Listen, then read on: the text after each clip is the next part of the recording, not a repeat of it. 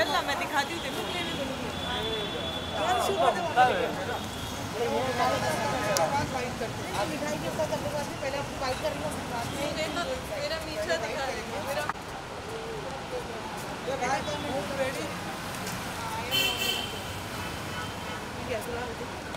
मीठा दे रहा भाई जरा मीठा it's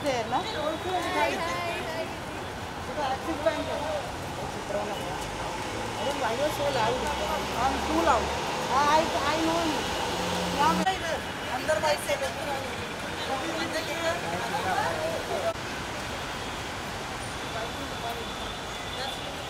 भैया जी।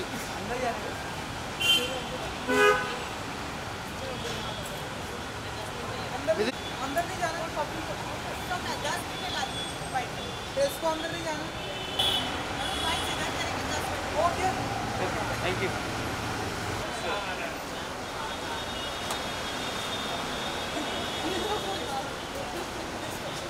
सीनियर ओके मैं पूछ रहा हूँ। आप हमारे साथ कर। रहे हो आज बोल रहे पूछ लेना ना। टू सी यू दीदी जी सबसे पहले तो बताइए कि मिठाई मिठाई की दुकान पर आप आई हैं मिठाई के बॉक्सेस भी हैं तो आप बताइए कि ये कौन से festival I think Christmas is just yes बिल्कुल। यू नो आई थिंक कोई भी फेस्टिवल क्यों ना हो मीठा खाना बहुत ज़रूरी है। So I think over here we have a tradition का मीठा।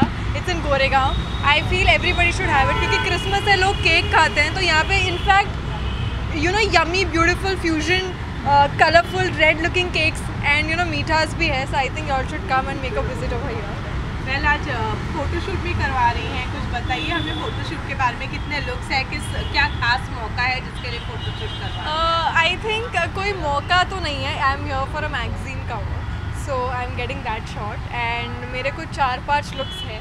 मुझे नहीं पता मैगजीन के लिए कितने क्या है but yeah that's about it I thought नए पिक्चर्स होने चाहिए।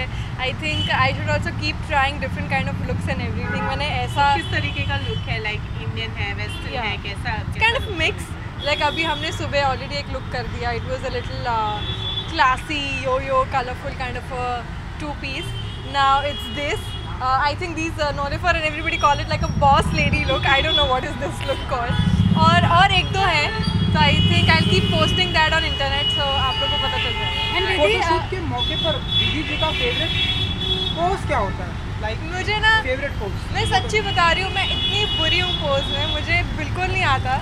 सो मुझे जो हमारे फोटोग्राफर सागर है वो मुझे बताते रहते so I think all I know is ये बस ये यही सब मैं करते रहती हूँ। मुझे क्योंकि आता नहीं है। ओके दीदी ज़रूर जानना चाहेंगे कि बीच में जब खबरें आ रही थी कि आप री एंट्री करने वाली हैं तो फैंस बहुत खुश हो गए थे बहुत एक्साइटेड हो गए थे। एंड बहुत लास्ट मोमेंट पे पता चला कि आप लोग एंटर नहीं हो रहे कुछ अलग वाइल्ड कार्ड एंटर क्या कहना चाहेंगे उस चीज़ को लेकर के? क्या ऐसी चीज़ें जो फॉल आउट बराबर से नहीं हुई और ऐसा हुआ? अह, इसका रीज़न तो बिग बॉस के साथ ही चला गया। मैं नहीं बता सकती कि क्या चीज़ें थी but definitely the news were right we वो I mean I was about to enter लेकिन कुछ चीज़ ऐसी हो गई कि अभी मैं बिग बॉस के अंदर नहीं बल्कि गोरेगांव का मीठा के बाहर खड़ी हूँ।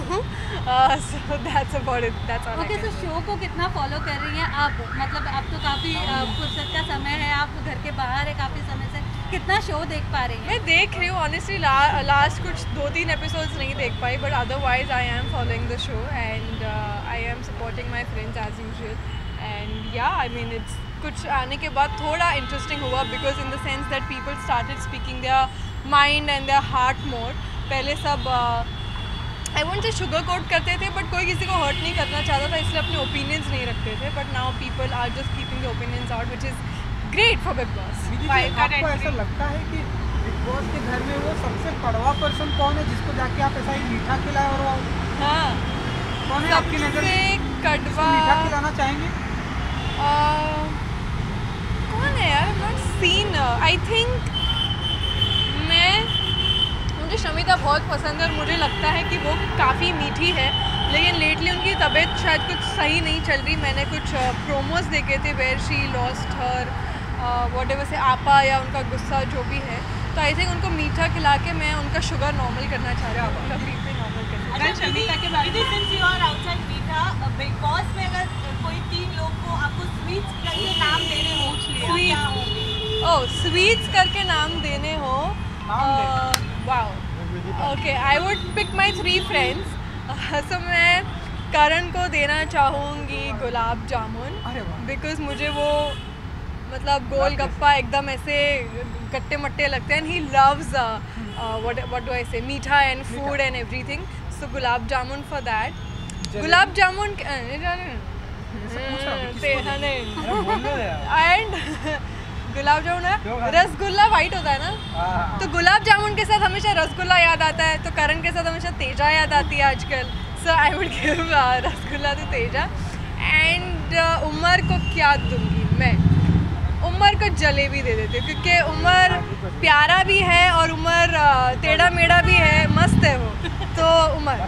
एंड घर वाले है ना रश्मि हाँ। के साथ उनकी सेटिंग करने में लगे हुए हाँ। कैसे देख रही हैं आप इस चीज़ को? पॉजिटिव हाँ। फ्रेंड की तरह कैसे क्यों यार? फ्रेंड्स पोजेसिव नहीं होते। फ्रेंड्स ऐसा चाहते हैं कि भाई अच्छी लड़की मिले और लड़का खुश रहे। तो दे दे I think they look cute and अगर दोनों एक दूसरे को पसंद करते हैं तो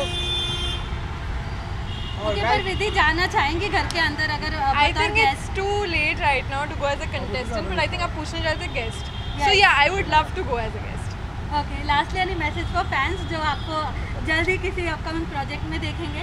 Uh, पहले तो thank you thank you thank you thank you मुझे इतना सारा प्यार और सपोर्ट देने के लिए because that keeps me going and I think आप लोग का प्यार ही मेरी एग्जिस्टेंस को रखता है बरकरार. So thank you for that and आप लोग की तरह मैं भी बहुत बेसर सबर हूँ कि कुछ अच्छा सा प्रोजेक्ट मुझे मिले और मैं काम पे लग जाऊँ.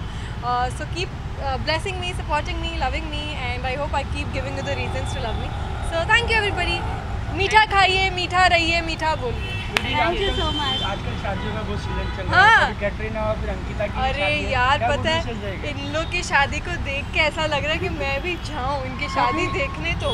हाँ। जाऊँ। अभी मम्मी ने बोला है तो बहुत छोटी है शादी के लिए। अभी मैं सिर्फ़ चौबीस साल की हूँ थोड़ा दो तीन साल काम करने दो। फ़िलहाल ऐसे मन करता है। यू नो लाइक दूसरों के वैसे बैग में घुसने का मन करता है घर में झाँकने का मन करता है। वैसे विराट एंड विराट विक्की कौशल एंड कटरीना की uh, शाह विकेट इसके लिए निकला हुआ। uh, उनकी शादी में जाने का मुझे मन करा रहा है but they look cute and I wish them a very happy marriage thank you thank you you. Bye thank you so Thank you so much much.